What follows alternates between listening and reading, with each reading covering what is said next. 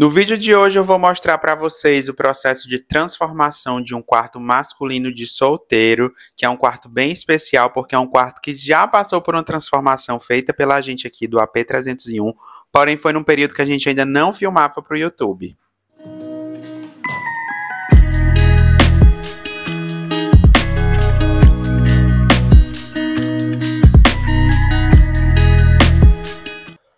Na época que a gente transformou aqui esse quarto, a gente estava literalmente começando com essa coisa dos projetos. Algum deles a gente sequer filmou a execução, inclusive esse, né? Mas foi na época, mesma época que eu fiz a cozinha branca da minha mãe, que tem vídeo aqui no canal, o quarto da minha irmã, e esse aqui, infelizmente, a gente acabou não filmando. Eu vou colocar aí na tela para vocês como é que a gente projetava nessa época. Para vocês terem noção, eu usava o PowerPoint para fazer os projetos.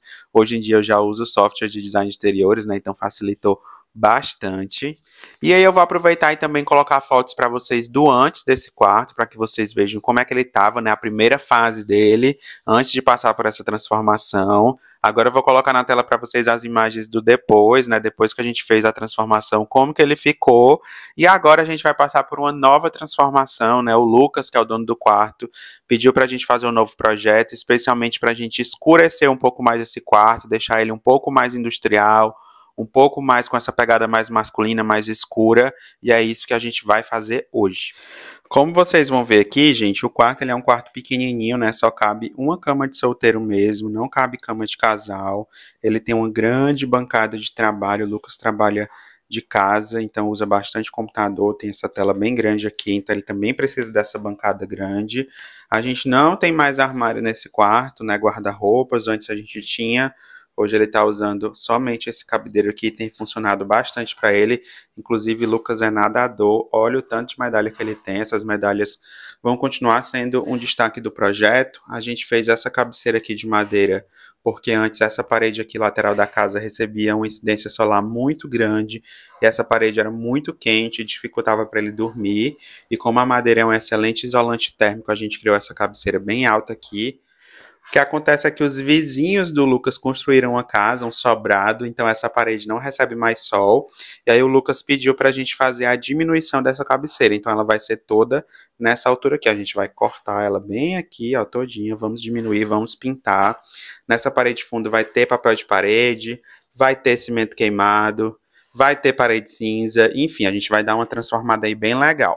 E como vocês sabem, gente, a gente sempre começa os nossos projetos com pintura, né? E dessa vez não vai ser diferente. O que acontece é que a gente tanto vai fazer pintura, como vai fazer cimento queimado, como vai fazer pintura de madeira. Então a gente vai tentar fazer algumas coisas simultaneamente. A minha ideia é que a gente comece pela pintura de madeira, que a gente vai pintar o quê? Cabeceira e a cama, né, que também é de madeira, porque demora um pouquinho, a gente precisa aplicar o fundo preparador e a gente também vai fazer o cimento queimado. Então vamos tentar fazer essas duas coisas ao mesmo tempo para a gente conseguir otimizar o nosso tempo e de repente, se não for sonhar demais, terminar isso em um dia. Mas óbvio, né, que antes da gente começar tudo isso aqui, a gente vai precisar tirar tudo de dentro do quarto, né? Gente... It's the end of the year. TV, couples and Christmas trees, gift wrapping and cheer. Just the worst time to be someone special. In all the movies there, kissing in the snow. Para fazer a pintura das paredes, a gente vai utilizar essa tinta aqui da Fortex com pigmento preto, vai ser uma cor cinza a gente vai fazer o cimento queimado, que é aquele que eu já mostrei para vocês aqui, que é o da Masa. A cor que a gente escolheu eu não lembro bem, mas foi a original, né? Que é a cor de cimento queimado original. E para pintar as madeiras, eu vou utilizar pela primeira vez a marca Kine, que é uma marca que eu costumo recomendar para as pessoas, só nunca tinha usado ainda. Então eu vou utilizar o fundo preparado à base de água e a tinta para madeira, que é a Dialine Topa Tudo. A cor que a gente vai utilizar é a cor Rio Negro.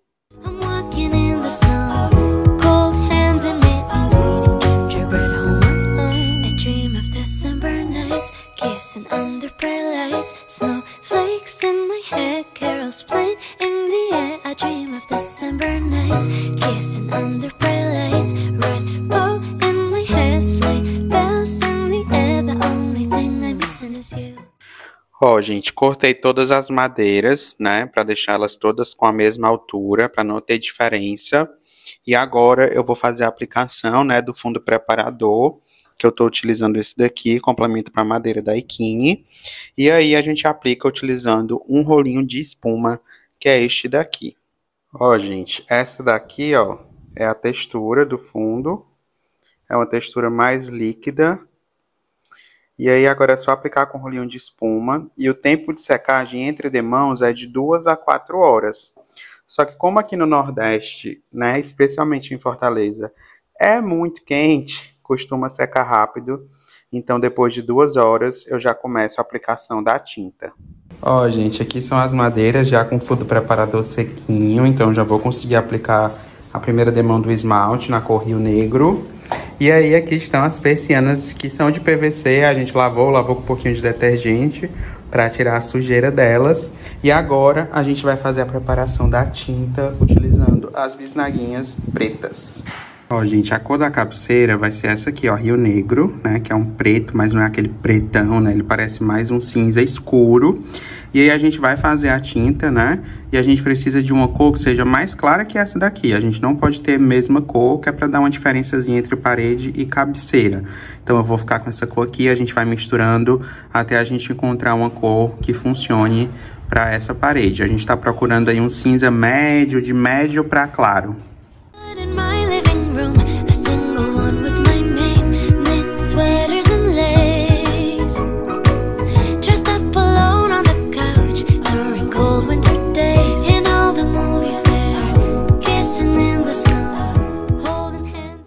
Gente, a gente colocou aqui meia bisnaga na tinta. Quando você vê aqui, você acha que tá super claro, né?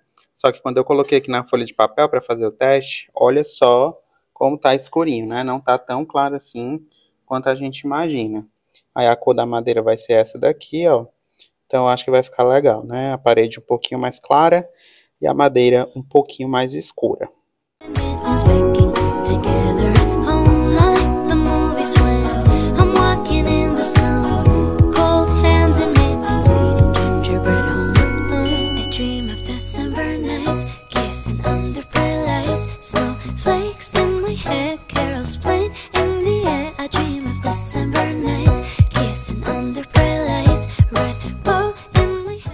Ó, gente, esse aqui é o resultado da madeira depois de três demãos, né? Super fecha. A questão é que é uma superfície brilhante, né? Eu não gosto muito, mas vamos lá, né? Eu prefiro a superfície fosca mesmo. E agora a gente também vai fazer a parte de iluminação, que no caso do quarto do Lucas, a gente optou por utilizar uma lâmpada LED tubular, né? Uma tubo LED, que é uma lâmpada T8. Aqui no caso de 60 centímetros, 900 lumens cada uma delas, e na cor branco quente, né? E a opção pela lâmpada tubo LED é uma opção por uma questão econômica, né? Cada lâmpada dessa custa somente 20 reais, então com 60 reais a gente consegue iluminar esse quarto super bem. Lembrando, gente, que vocês têm que ficar super atentos a essa questão de iluminação, especialmente porque a gente está escurecendo o ambiente, né? A gente está colocando ali um cimento queimado que é mais escuro, a gente está colocando uma tinta de parede mais escura do que a que tinha antes.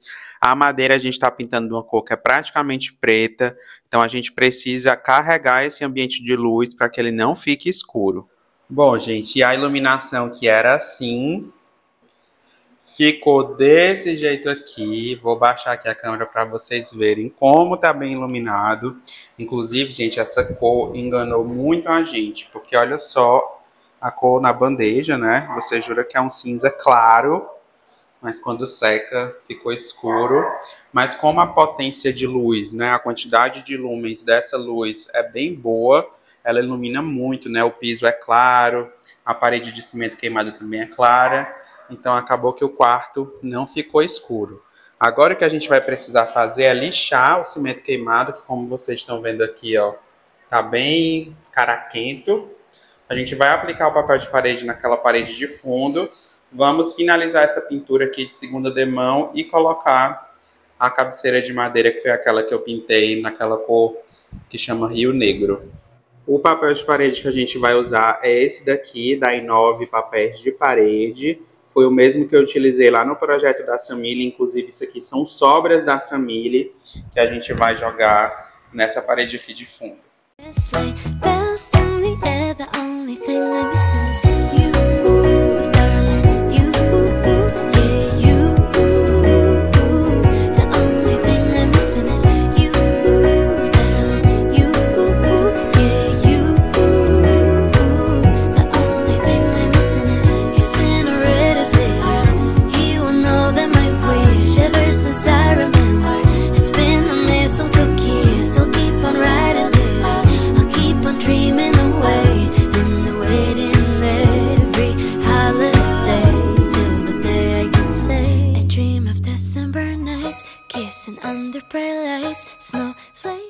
Bom, gente, se passaram duas semanas desde esses últimos vídeos que vocês viram aí, a gente já colocou tudo de volta no quarto, o quarto já está finalizado, pronto, e eu vou conseguir fazer um tour completo para vocês mostrando todos os detalhes, e vocês já conseguem perceber aqui, né, nessa imagem de fundo, que o quarto está com essa estética bem mais masculina, mais pesada, mais escura, mais industrial, que era o que a gente estava querendo. Queria inclusive aproveitar para agradecer a todo mundo que esteve comigo neste ano de 2022 aqui no canal. Esse vídeo que vai sair agora do quarto do Lucas, né, é um vídeo que vai ali fazer essa transição entre 2022 e 2023. Eu vou postar ele exatamente no dia 1 Hoje é dia 31, que é o dia que eu estou encerrando as filmagens desse quarto. Essa semana, gente, o canal bateu um milhão de visualizações. O canal já tem dois anos. Eu acho que tem mais de 100 vídeos. E a gente finalmente conseguiu bater um número super bacana. A gente está pertinho de bater 10 mil inscritos também. Então, se você não é inscrito no canal, não deixa de se inscrever para ajudar a gente a crescer. Espero também que a gente cresça juntos nesse ano de 2023. E bora lá para. Bom, gente, esta daqui é a nova vista que você tem do quarto assim que você entra nele, né? Já dá para ter uma visão bem geral. E aí vocês vão ver, por exemplo, que nós pintamos cabeceira, pintamos a cama, inclusive, da mesma cor da cabeceira, Pintamos a parede aqui lateral que antes era branca, né, com aqueles detalhes azuis em preto, em cinza, desculpa. E aí o Lucas também comprou esse conjunto de quadros aqui na internet. Eu tinha mandado para ele algumas opções, ele optou por essa daqui. Desse lado, a diferença que nós temos é a instalação do papel de parede, que é um papel de parede vinílico. Esse papel de parede aqui, gente, foi uma sobra de um outro projeto que eu fiz. Aí a gente viu que daria para utilizar aqui nesse projeto. E temos ainda, né, a nossa persiana, que está um pouquinho debilitada, vocês vão ver, ó que ela está quebrada em algumas partes, mas ainda está cumprindo sua função, por isso que a gente resolveu não substituir, a gente lavou ela para tirar toda a poeira que tinha, e essa é a visão, né, quando você entra aqui no quarto, né, ou seja, realmente conseguimos aí deixar ele bem mais masculino, mais industrial.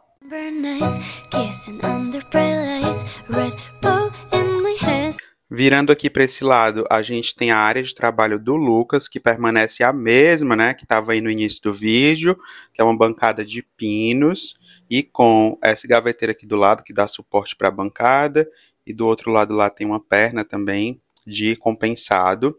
E aí vocês vão ver, né, que a mesa é bem grande, o Lucas tem uma tela bem grande, ele trabalha de casa, e aí ele precisava muito desse espaço de trabalho. E aí uma coisa legal desse espaço de trabalho é que agora, quando o Lucas estiver, por exemplo, numa reunião, a parede que ele vai ter de fundo é essa, com esses quadros que vai ficar super bonito, né? Ó, gente, sentei aqui na cadeira para mostrar para vocês agora como que é, o que é que aparece de fundo aqui para as reuniões dele, ó. Então vai ser agora essa parede, né, com a cabeceira inclusive, ó, vocês percebem que a cabeceira é iluminada e os quadros, ou seja, um fundo aí bacana para as reuniões dele. E por falar em cabeceira, vocês viram que a gente diminuiu o tamanho dela, então ela está toda nesse tamanho aqui, que se eu não me engano é um metro ou um metro e dez. A fita LED está embutida aqui, ó, aqui atrás. Tem um espacinho entre a cabeceira e a parede. Esse móvelzinho que ele tem aqui, gente, que fica o ventilador e os livros, é um móvel que foi feito com as sobras das tábuas que a gente comprou para fazer a cabeceira quando a gente reformou aqui o quarto pela primeira vez. Aí uma coisa bem legal, gente, é que o Lucas, ó, ele é todo ligado em tecnologia, então ele tem um Alexa, e essa Alexa controla muitas coisas do quarto. Ó, vamos fazer aqui o teste. Alexa, desligar LED.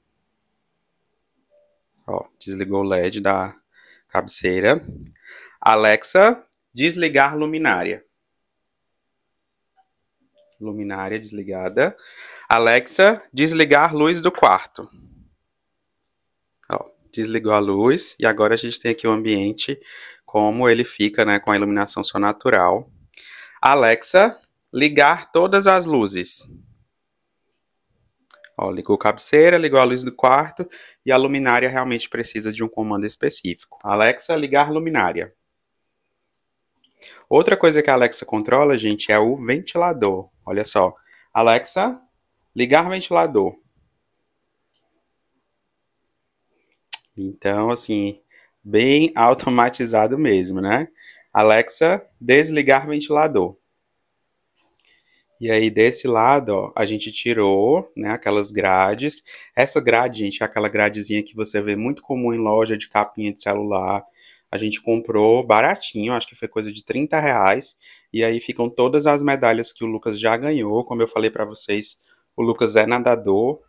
Virando desse lado, a única mudança que a gente teve é que a gente trocou a cômoda que antes ficava naquele espaço ali, ó tiramos a cômoda de lá, colocamos ela aqui de lado e ali a gente colocou o espelho. Antes, como vocês viram nas imagens aí no início do vídeo, o Lucas tinha um guarda-roupa daqueles mais antigos de madeira e ele preferiu substituir, né, por essas araras. Então ele utiliza as roupas deles nas araras. Tem a sapateirinha aqui também feita, ó, com o compensado que sobrou da mesa. Tem um gaveteiro para guardar itenzinhos assim que precisam ficar mais escondidos. Ainda tem aquelas duas caixas ali em cima para guardar algumas coisinhas, né, já que não tem muito espaço de armazenamento no quarto. A gente aproveitou também para pintar a porta, né? Para pintar a porta da mesma cor, que é aquela cor da Ikine, que eu já falei para vocês, se não me engano, Rio Negro. Ó, mesma cor da cabeceira. Temos a porta e já ia esquecendo de falar do da parede de cimento queimado, né? Quando a gente fala em um ambiente industrial, é impossível não pensar, por exemplo, no cimento queimado ou no metal, ou na cor preta, né? Então aqui a gente também fez toda essa parede está aqui atrás de mim, ó, com o cimento queimado da Masa. Aí esse aqui foi o resultado. Eu não vou mentir para vocês, gente. O cimento queimado é uma coisa que a gente ainda tá aperfeiçoando, assim, a gente não faz ainda de forma assim perfeita, impecável, mas eu gosto muito quando o cimento queimado tem essas manchas. Eu não gosto quando ele é muito lisinho, muito uniforme, eu prefiro quando ele é um pouquinho mais manchado mesmo. Ó, vamos lá entrando no quarto. Visão geral com a câmera bem aberta que facilita a visualização de vocês. Ó, espelho de corpo todo, né, para facilitar, sempre é bom ter em quartos. Virando desse lado, a gente tem a área de trabalho dele e virando para o outro lado, a gente vai ter o armário, né, aberto. É um como se fosse um closet aberto, né? Bom, gente, mais uma vez, muitíssimo obrigado a todo mundo que esteve comigo aqui apoiando o canal no ano de 2022. Espero contar com vocês aí no ano que vem. Esse final de ano eu me atrapalhei um pouquinho, alguns vídeos demoraram um pouco para sair, mas eu tenho tentado aí manter o ritmo de um vídeo por semana para o ano de 2023, então espero conseguir fazer isso. E eu não sei se vocês sabem, mas infelizmente o YouTube ainda não é a minha fonte de renda principal. Eu tenho o meu trabalho, né? Eu tenho o meu emprego. E aí eu faço os vídeos, né? Os projetos, edito o vídeo, faço tudo relacionado ao canal e ao Instagram somente no meu tempo livre. Então por isso que às vezes eu me enrolo um pouquinho, mas com o apoio de vocês, de repente, aí esse ano eu consigo a minha independência e consigo aí trabalhar somente com o YouTube, né? Então é isso, a gente se vê semana que vem com mais um vídeo. Tchau!